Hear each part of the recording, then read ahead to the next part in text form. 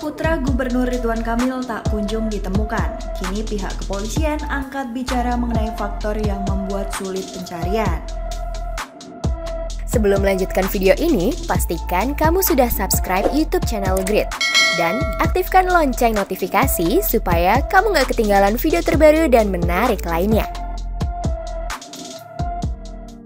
Putra sulung Gubernur Jawa Barat Ridwan Kamil dikabarkan tenggelam dan hilang di Sungai Are Swiss sejak Kamis 26 Mei 2022 sekitar pukul 9.45 pagi. Hingga Sabtu 25 Mei 2022, pihak berwajib dan tim SAR masih terus melakukan penyusuran. Ya, pencarian Emeril Khan Mumtaz akan dilanjutkan dengan menggunakan metode penyelaman. Hal ini telah disampaikan langsung oleh Duta Besar RI untuk Swiss Mulyaman Haddad pada Sabtu 28 Mei 2022 siang. Tim SAR Swiss juga sudah turun tangan menggunakan drone yang dilengkapi pendeteksi suhu tubuh, perahu, dan kendaraan darat untuk mencari keberadaan sulung sang gubernur. Tentunya penyelaman disesuaikan dengan situasi karena kalau airnya keruh itu bekas hujan atau salju yang meleleh, maka dapat menyulitkan penyelaman, kata Mulyaman.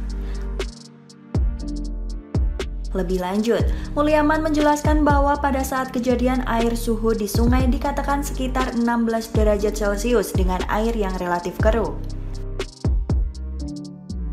Airnya datang dari salju yang meleleh sehingga relatif dingin.